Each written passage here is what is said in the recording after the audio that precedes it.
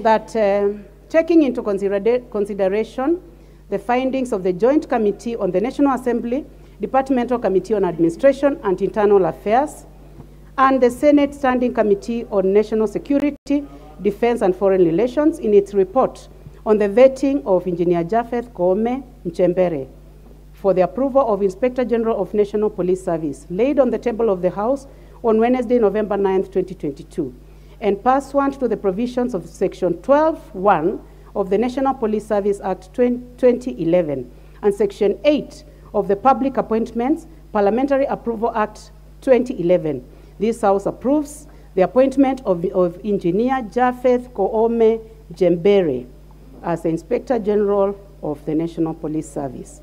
May as many as of that opinion say aye. May as many of the contrary opinion say nay. The ayes have it.